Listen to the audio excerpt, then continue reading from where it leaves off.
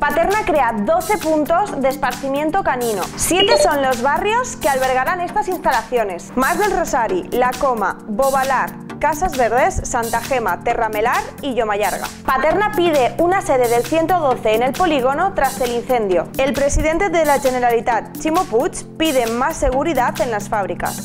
Más de 300 personas se movilizan en Paterna contra el proyecto del tanatorio en Santa Rita. El alcalde explicó que se tratará de buscar una ubicación alternativa. El ayuntamiento se ilumina de dorado hasta el próximo domingo 19 de febrero, que se celebrará con motivo del Día Internacional contra el Cáncer Infantil una jornada en el coetódromo donde los más pequeños serán los protagonistas. Si te gustan nuestros boletines informativos, suscríbete a nuestro canal en YouTube. Yo soy Irma Clemente, nos vemos el próximo viernes.